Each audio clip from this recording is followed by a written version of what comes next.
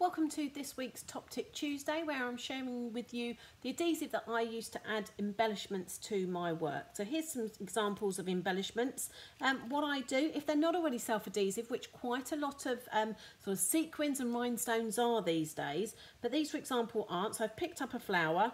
This is my glue dots, they're on a roll. Um, you might not be able to see them on camera, but you can see that that flower is now attached to that. I peel it off. The glue dot, I'm hoping you can see. Oh, hang on. there you go.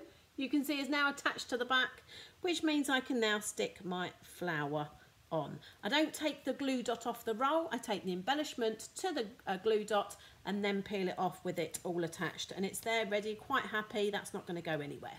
Thanks for joining me.